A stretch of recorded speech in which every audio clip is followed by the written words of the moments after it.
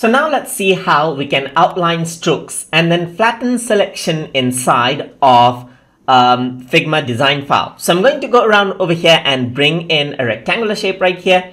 Uh, let me just do, go around and choose a color right here. Go around over here and select out ellipses like this. And then I'm going to go around, select this out as well. So this is what you have as you can see. And now what I'm going to do is add in a stroke to this. So I'm going to add in a stroke and increase the size of the stroke right here. And I'm going to go around and choose another color over here as well. And this is what you have.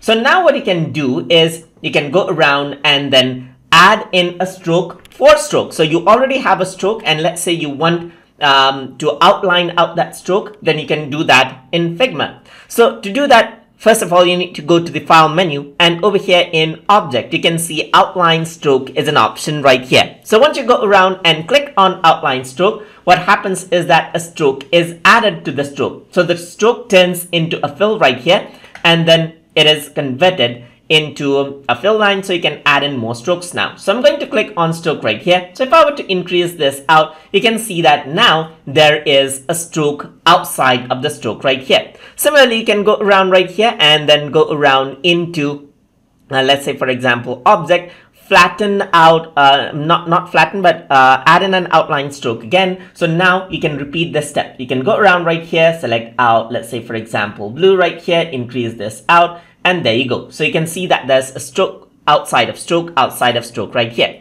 So these are individual files right here, as you can see. So individual files have been generated. So what you may want to do is flatten everything out. So to do that, you can select this out, click and drag and select this, go around into file menu. You can go around over here into object and click on flatten selection. And what happens is that everything becomes flat right here. Of course, the fill color um, is flattened out as well. So you will have to choose the color like this. But you can go around and add in strokes right here and then increase out the strokes. Let's say, for example, just like this and then change this around according to how you like it over here. So that is how you can work around with outlining of strokes and flattening of selection inside of a Figma design file. So hope you guys learned something as always. And as always, please like, comment, share, and subscribe.